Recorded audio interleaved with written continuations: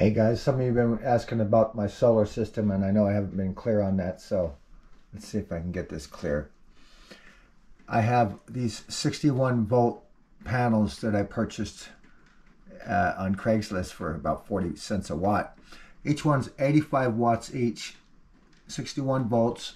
So I tied two of those in series to create 170 watts, 122 volts in theory, but I, am reading about approximately 113 volts at the panel uh, little bus bar I have.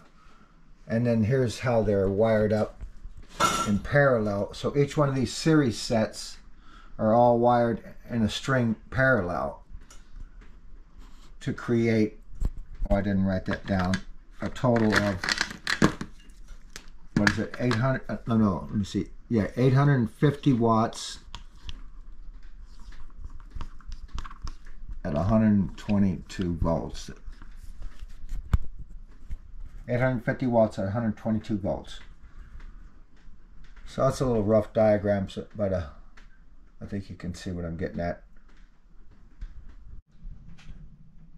This is the information on the back of my solar panels that I'm using to heat this, uh, to power the sand battery.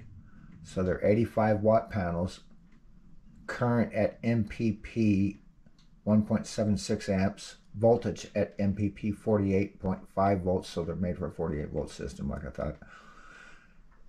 And the short circuit current, 1.98 amps, open circuit, 61.0 volts.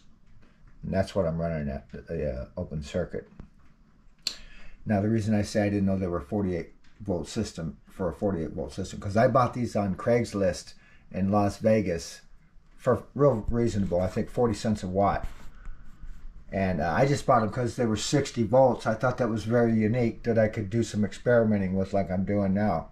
So I can't tell you that you won't damage your panels. I, I'm not a, an engineer. I just know that this is working for me. I've done a lot of experimenting on, uh, you know, open circuit running things like fans for years and they've never did any damage. But this is uh, pushing the limits here. So, you know, you're on your own. I'm, I'm, I'm, you know, I'm taking a chance with my panels. So far, so good. It's working great. I know this works.